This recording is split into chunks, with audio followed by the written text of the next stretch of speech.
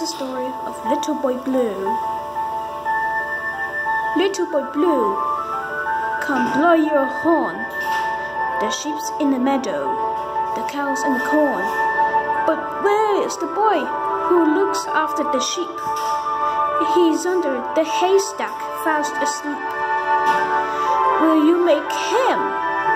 No, I not I. Will you make him?